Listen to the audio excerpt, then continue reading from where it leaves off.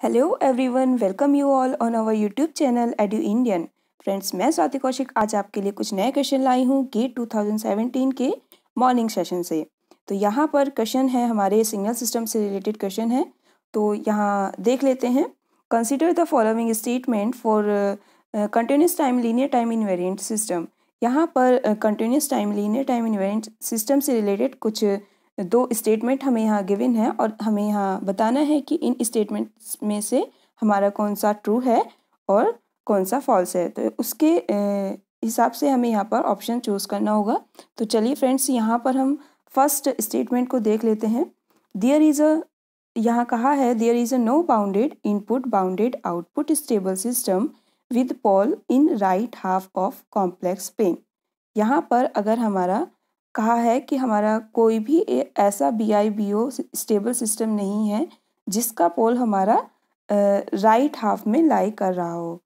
Right half complex plane में लाई करता हो। तो फ्रेंड्स देख लेते हैं यहाँ पर जो हमने सॉल्यूशन दिया है। तो वहाँ पर किस तरह से हमने यहाँ पर इसको एक्सप्लेन किया है। यहाँ अगर हम कॉजल सिस्टम की बात करें, कि कॉजल सिस्टम में अगर हमारा कोई पोल है सिस्टम का राइट हाफ़ प्लेन में लाई कर रहा है लाइट हाफ़ कॉम्प्लेक्स प्लेन में लाई कर रहा है तो तब कॉजल सिस्टम का जो हमारा आरओसी होगी वो राइट साइड में होगी।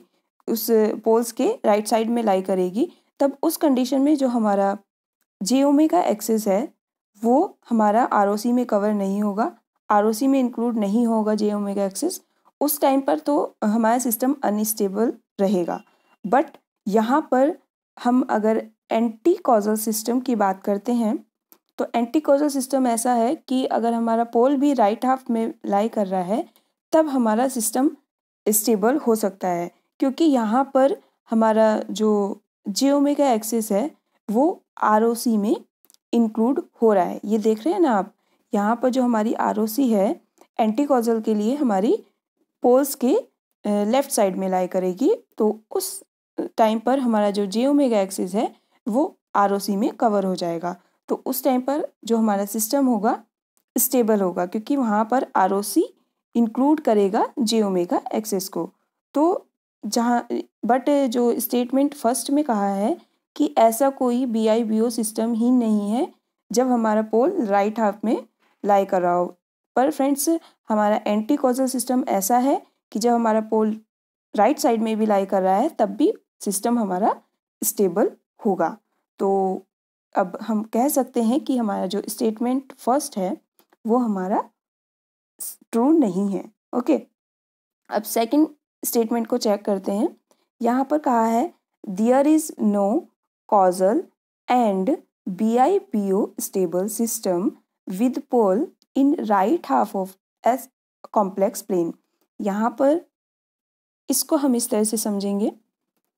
यहाँ कहा है कि जो हमारा अगर राइट हाफ़ में हमारा कोई पोल लाई कर रहे हैं, तब उस टाइम पर हमारा कोई भी ऐसा सिस्टम नहीं है।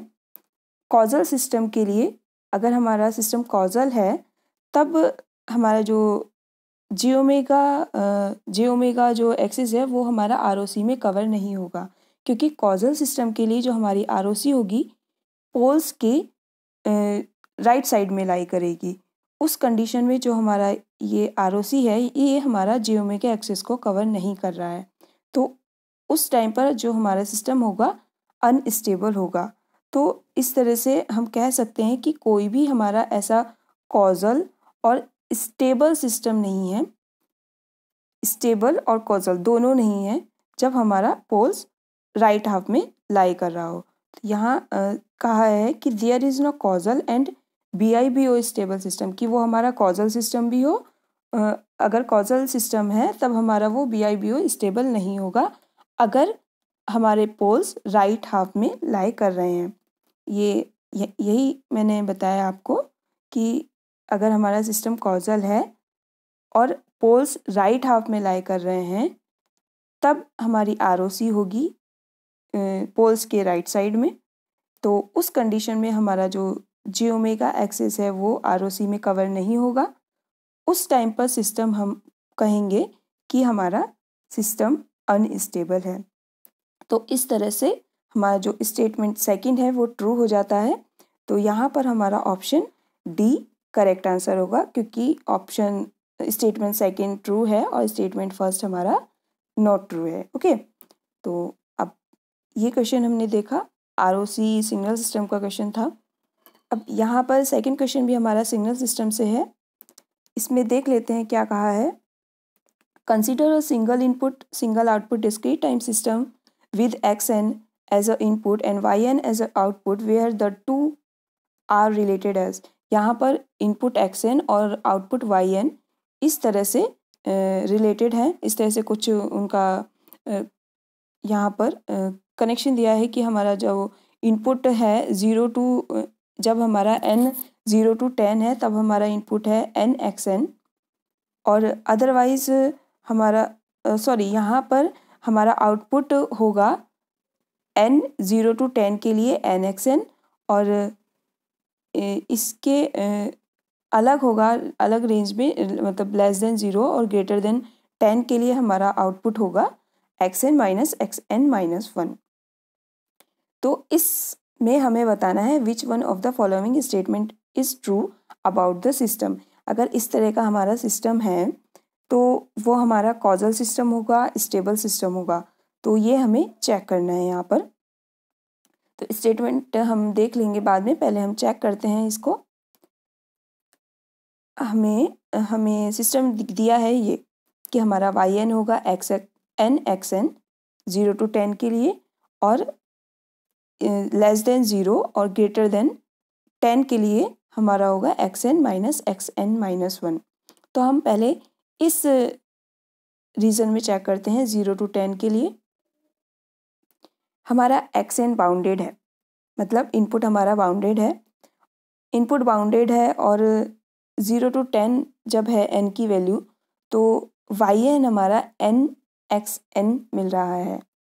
एन हमारा ज़ीरो टू टेन एक फाइनाइट वैल्यू है ओके तब हमारा जो आउटपुट भी एक फाइनाइट वैल्यू होगा, क्योंकि वो हमारा एन और एक्स एन पर डिपेंड कर रहा है, ठीक है?